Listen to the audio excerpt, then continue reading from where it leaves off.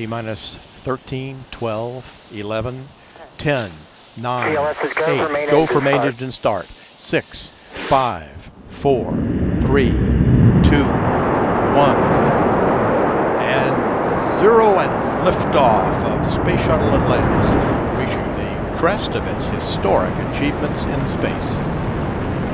And Houston, Atlantis is in roll. Roger, roll. Houston is now controlling.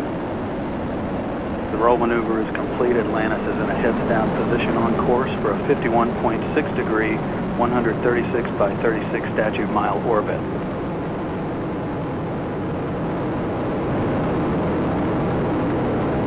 Throttle down, turn 72. Copy, in the bucket. And the three main engines on Atlantis have now been throttled down to 72% of rated thrust as the orbiter prepares to pass through the uh, area of maximum dynamic pressure on the vehicle in the lower atmosphere.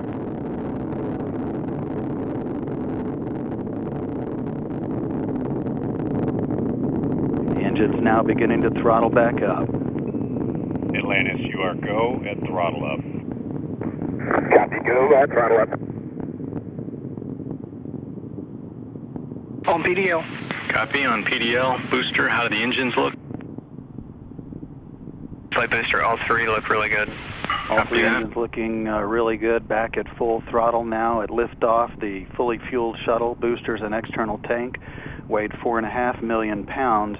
It now has burned uh, half of that liftoff weight in propellant. One minute, 30 seconds into the flight, all three auxiliary power units that provide hydraulic power to the orbiter's systems in good shape, as are the fuel cells providing uh, electricity to all of the systems on board. Atlantis is already 19 miles in altitude, downrange from the Kennedy Space Center, 20 miles, traveling 2,500 miles per hour. Coming up on staging, the point at which the twin solid rocket boosters burn out and separate from the orbiter.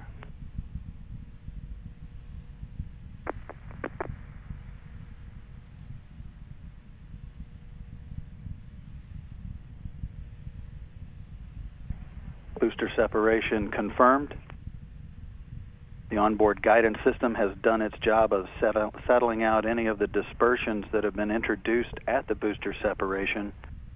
Atlantis' uh, performance thus far is uh, exactly as planned as uh, Atlantis heads into orbit